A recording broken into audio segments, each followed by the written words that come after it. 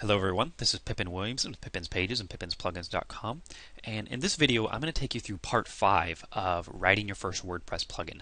Uh, this is a continuation of the series that I've been working on for a little while now um, and you can see it here. We have part 1, 2, 3, and 4 um, and if you recall, if you've been following the series, in uh, the last part, part four, um, we ended up with this, which is a box at the bottom of your post that allows you to dis- display a link to follow you on Twitter.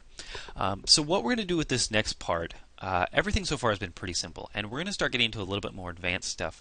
Um, the idea with this series is that it's going to cover a broad range of topics, um, all with one plugin. So what we're going to do in this one is we're actually going to add an admin page that will eventually allow us to give the user, the person using the plugin, the option to actually input their Twitter URL from the WordPress dashboard. So rather than hard coding your Twitter URL, we're going to have the option to actually enter it from the dashboard. So what I'm going to show you in this part is actually how to add the page, and what we're going to do is we're going to add a link here to the settings menu, uh, and it'll just be like my first plugin, and that will be the settings page. So much like when you go over here to the general or the writing section, you have all of these options here that you can configure.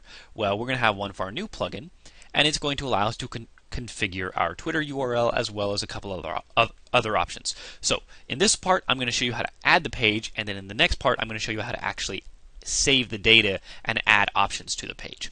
So let's get started. Uh, the first thing that we're going to do is we're going to open up our first WordPress plugin. Um, as you recall, here it is. And we are going to create a new file. Um, and this file is going to be saved, and it's going to be called, uh, we can just call it admin page.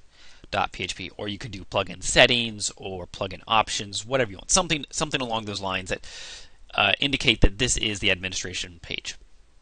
Now we are going to write a function, and this function is going to be the one that is actually going to output um, our HTML content on the options page. So in this case, I've just called it uh, my first WordPress plugin, or MFWP, which is my prefix, underscore options page. And now what I'm going to do is start our output buffer, just like this. Uh, I believe I actually, if we open up our display functions, uh, no, actually, I guess I didn't. Okay, so let me, I thought I'd explain the output buffer. Let me go ahead and explain this to you really quick. The output buffer is something that will allow us to um, write out our HTML as regular HTML. Uh, if you recall, in our display functions, we put all of our HTML here into a string, into a variable called extra content. Um, well, that works fine when you are displaying one little piece of HTML. But when you have a whole bunch of HTML that you want to display, in this case, it's going to be a form, inputs, text, headings, etc there's a much easier way to do it, and that's using what's called the output buffer. So this stands for output buffer underscore start, and that's basically starting the output buffer. And now we can simply write out our HTML like normal, like this. Uh, so here all I'm doing is just writing out the HTML that's going to be on my page, my first WordPress plugin options. So that's going to be the page title. Um, anytime you create an admin page, you should always wrap it in a div with a class of wrap. That's because this is one of the core WordPress uh, classes that it uses. Uh, so it gives much better uh, results if you do that. This is our settings page content, just like that. And now we're going to close the div And now what we're going to do is we're going to open up our PHP tag again, and we're going to echo ob underscore get clean. That basically says take everything that is after the output buffer and echo it. Uh, so that's very similar to how we are returning uh, the content over here, except that we're doing it, we're storing everything in the output buffer and then returning that. Okay, so that's the start of our admin page. Now what we need to do is go back over here to our main plugin file and go ahead and include our admin page. So we just go this admin page.php. And now we will um, the plugin options page HTML. Okay, uh, HTML and save functions. This file, admin page, is going to contain everything that we need for this admin page.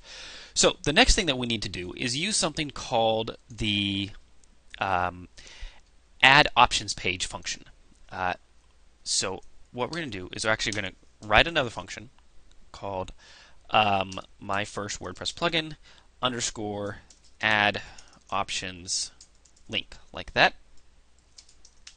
And this is the function that's actually going to register our menu link. Remember that what we're trying to do is add a link right here. Uh, so to do that, we simply use this function, add options page. The add options page is one that actually allows it. Uh, there are similar several functions like this. There's called there's add menu page, there's add submenu page, and there's odd add options page as well as a couple others. But the add options page is the function that we're going to use to actually add a link to this menu. So we do add options page. The first thing that we have is going to be the page title. Um, the page title, which is going so that would be displayed up in your uh, your browser window or tab.